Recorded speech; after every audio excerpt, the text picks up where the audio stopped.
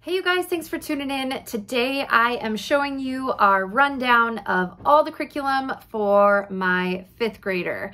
So this year I am homeschooling a 12th, a 10th, and a fifth grader. And so I am gonna show you, let's see, where did I put my sheet? Here we go.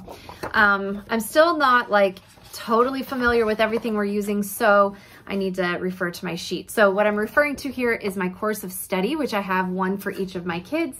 And this you can find included in my Forever Planner. I will link to that in the description below. And uh, basically this is just a list of the subjects that they're doing and the resources that they're doing. And then I check it off as I get everything ordered. So I make sure I have all of my things ordered and all my ducks in a row. And uh, so this is for my fifth grader.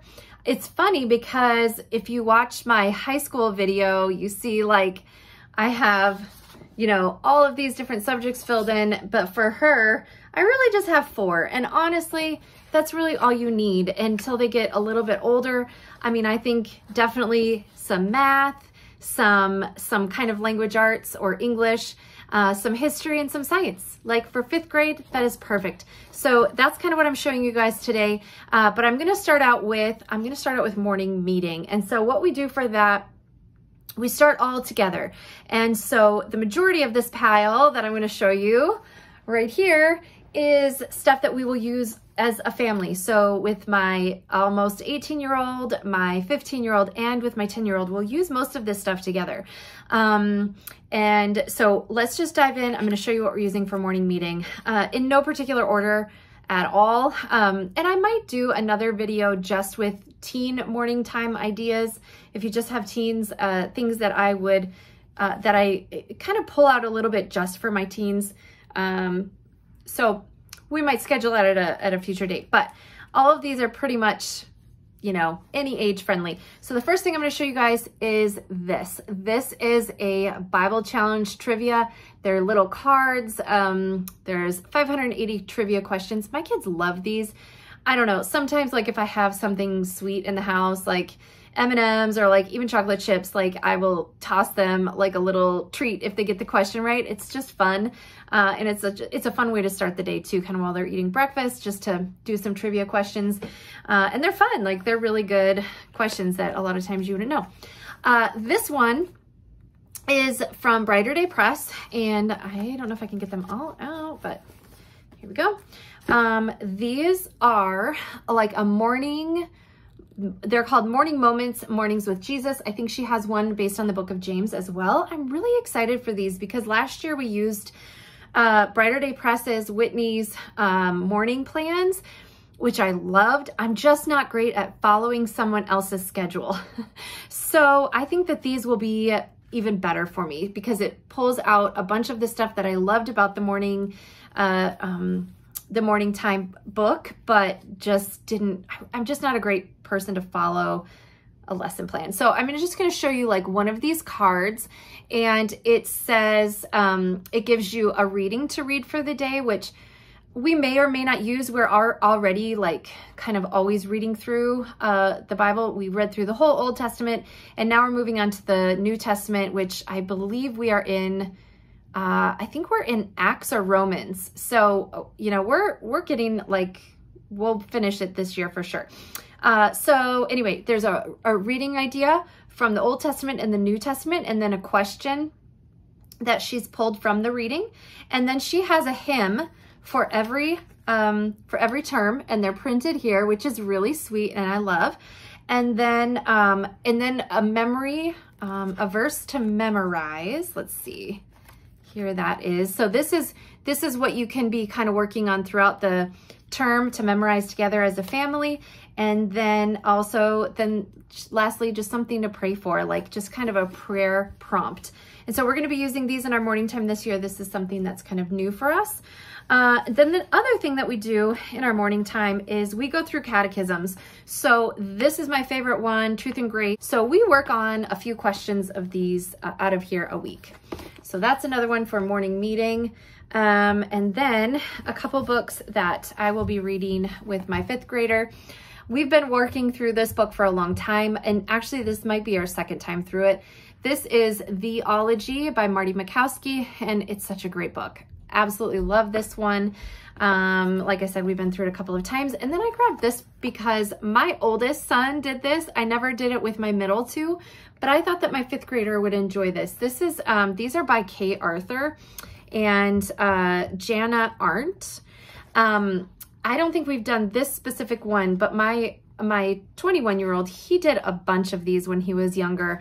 And there are just notes to fill in. It talks about how to study the Bible, how to make notes in your Bible to so that you commit things to memory. Um, so all of those are just really, really, really good. So this one is on Genesis 1 and 2.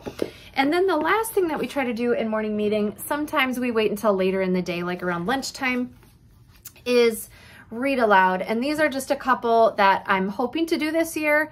Um, I make a list of what I want us to read for read alouds, but a lot of times we kind of deviate from the list because I'll find something else and I'm like, that looks good and we'll do that. Uh, so we always like to do at least, I don't know, two or so uh, missionary stories. So I wanted to read this one about Amy Carmichael. I think we actually read it or uh, started it and then we kind of abandoned it. Yeah, it looks like we're on like chapter three. So we'll finish this one, maybe start it over so we remember. Um, Pilgrim's Progress, I have never read to my kids and I got this pretty copy and I wanted to read that this year. Understood Betsy is one that we had on our list to do last year and uh, never got to, so that carried over.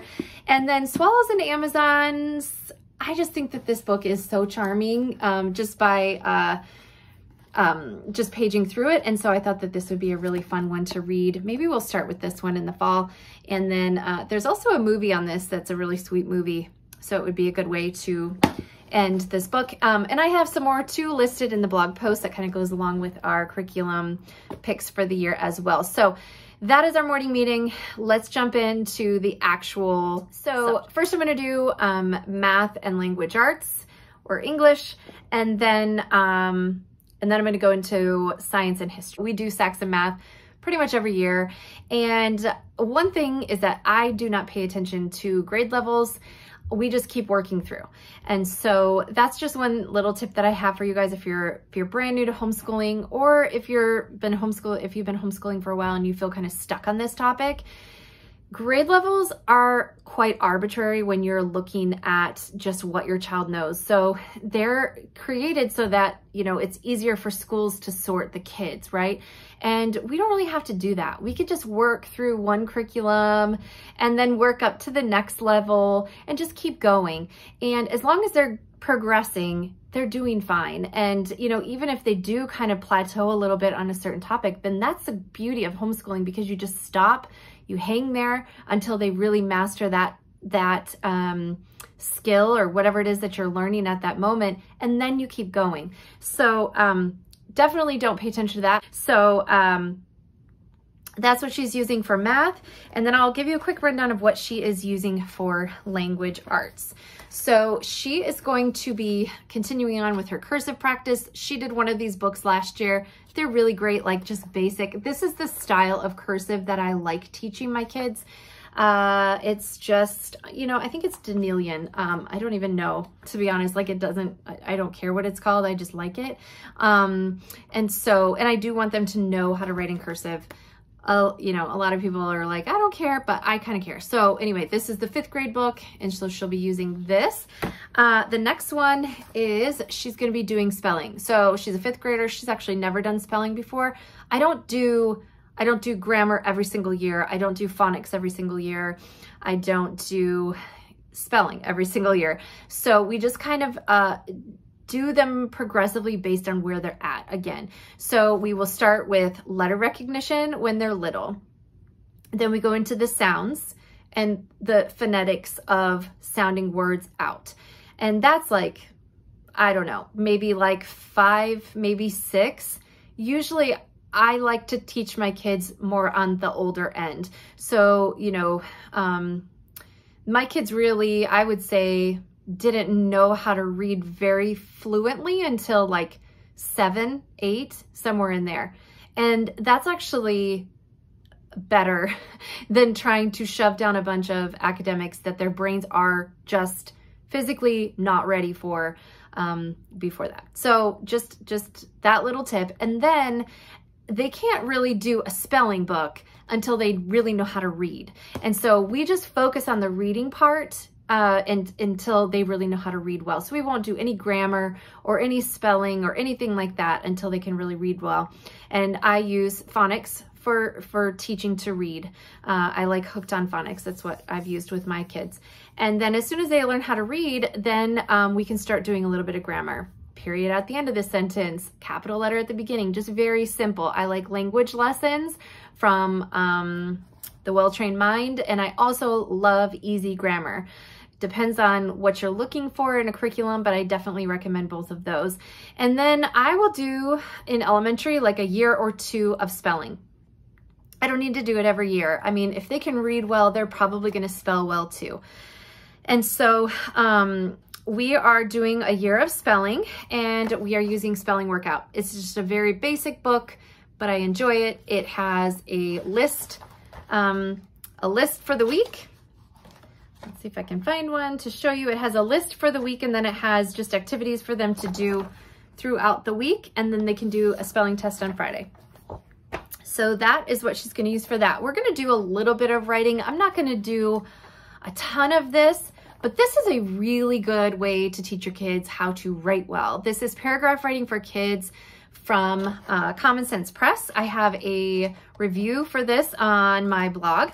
So you can check that out. But it talks about descriptive writing, narrative writing, persuasive writing, expository writing, and comparative writing. And so it just teaches it in a very simple, gentle way so that you know, it's not 40,000 steps. It doesn't take them all day. I mean, it's like 20 minutes for a lesson, maybe a little bit longer if they want to get really creative with it. But this is, we're going to work on this maybe once a week or so. Uh, and then the last thing for language arts is this uh, book right here, First Language Lessons from the Well-Trained Mind. This is level four. This one teaches them how to sentence diagram. So I actually really like sentence diagramming. I know it has like a bad rap, but I, I actually think it really helps them to know parts of speech when they uh, can put it into diagrams like that. So it's a very um, simple, straightforward, kind of open and go book. And you don't really have to prepare a lot because this is the teacher's book right here. And it has really like a script for you to read every day. And then this is the uh, workbook for the kids. And uh, this is kind of what it looks like inside you kind of walk them through what they're doing on each of these um, days, you know, so you'll have, you'll tell them what they're doing. They can't really do this on their own. So that's something to keep in mind. If you don't want to do it with them, then this probably isn't the book for you, but I do think that it's a good idea um, that they have some instruction. So that's what they're, that's what she's doing for math and for language arts. Okay, so last thing I'm going to show you guys for my fifth grader is what she's using for science and what she's using for history. So one thing that I don't have anything to show you is nature study. So we do a lot of nature study, just a lot of nature walks, journaling, uh, and one thing that we love is no sweat nature study lessons. It, they are twice a month and you can you can log in and um, watch live or you can come back and watch the video later when you have time. There's an extensive video library that you can go in and do, I mean, turtles, a million different animals, um, landforms, oceans, ponds, weather. There are so many lessons in there and they're just really, really fun and engaging that they can watch the video and then um, Miss Cindy walks them through a journal entry. So then at the end of the year, they'll have this beautiful nature journal. Um, but then there's also just a lot of really good, um, you know, information that you could just download, print out, and take on your nature walks with you if you don't want to do the full video part. And if you just want to walk them through it on your own, you can do that. And there's book suggestions and all of that. So that's one thing that we're doing for nature, which also counts as science in my opinion. And then what we're doing kind of for our official science is we're doing um, Apologia's Exploring Creation with Zoology 3. This is the land animals one we did the one, um, I don't remember if it's one or two with the birds, with the flying creatures, and that was so much fun. We did that, I think, three years ago or something like that. I did that with my two daughters together. It was so much fun. Um, and so I'm excited to do this with uh, my fifth grader on her own. Apologia is updating these books, but they haven't updated this one quite yet. And at the time of recording this, I think all of their stuff is 25% off. So check out the link in the description and see if you can catch that sale if you're seeing this video right when it comes out. Um, so this is uh, this is what we'll be doing. And then I also got the journal. I definitely think that these are a must-have when you're doing the Apologia courses because they're just filled with um, activities and nature or journaling pages. It's just a great notebook to have at the end of the year. Um, you know, and it has all of the, you can do, you're kind of doing like lap books pieces and things like that as well. So I definitely recommend uh, getting the journal um, when you copy work. Um, when you're doing these courses, definitely get the journal as well. So that's what we're doing for history, or sorry, for science, and here's what we're using for history. So we're doing ancient times uh, in our whole family this year, and uh, even though we're not technically doing uh, the courses together, there'll be a lot of crossover because, you know, over the dinner table, we'll be talking about things. Um, we'll probably watch some documentaries together, probably some movies together and things like that. And so uh, this is what my youngest with my fifth, fifth grader, what we'll be doing. We're gonna be using this as our kind of our spine. So for ancient Egypt, we're gonna use this. I really like these history pockets. Um, they're not, you know, super, super deep, but they really like, do a good job of covering a lot of the different aspects of this, you know, for example, ancient history.